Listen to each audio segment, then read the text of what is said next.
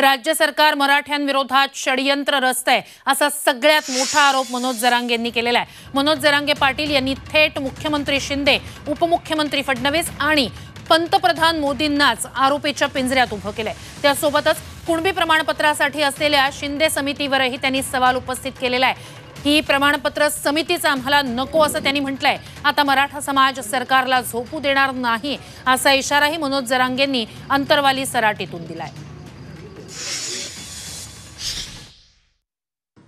मराठ्यांचे पोरं मोठे होऊ नये.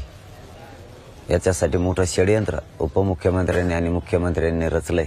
सरकारने रचलंय. तुम्हाला एक महिन्याचा आम्ही वेळ दिला. जास्तीचं मराठ्यांनी दहा दिवस दिले.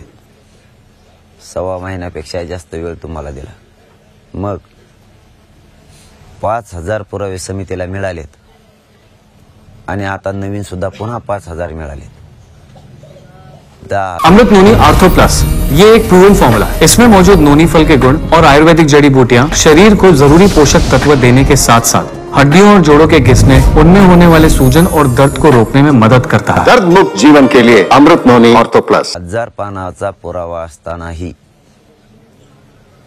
तुम्ही महाराष्ट्रातल्या मराठा समाजाला सरसकट कुणबी प्रमाणपत्र देण्याचा कायदा पारित करून मराठा समाजाचा ओबीसीमध्ये समावेश का करत नाहीत याचा अर्थ पुरावे असूनही तुम्ही मराठा समाजाच्या पोरांचं करिअर बर्बाद व्हा- व्हायला पाहिजे.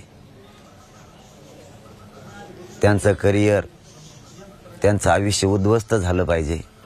म्हणूनच पुरावे असूनही तुम्ही मराठ्यांना आरक्षण देत नाही त्याचा अर्थ असा होतो. आता आम्हाला सरळ दिसतंय ना? दहा वर्ष जरी लागले आणखी.